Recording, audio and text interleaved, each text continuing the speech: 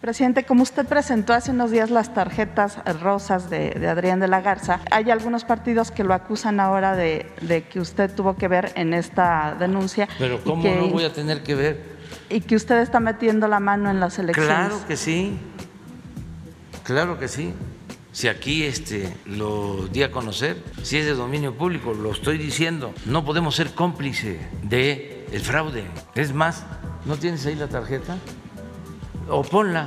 Fueron dos días. El primero pensé, Tres días. porque lo vi Tres días. Tres días, lo vi en las redes sociales y pensé que podía ser una noticia falsa. Y luego ya se comprobó de que es real y hasta me enviaron una tarjeta. Si el Reforma no dice nada, pues eso es otro asunto.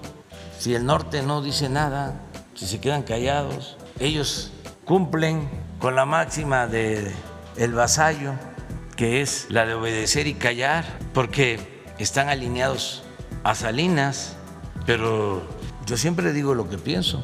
Y esto lo tenemos que hacer todos, los ciudadanos, en los municipios, en las regiones, en los estados.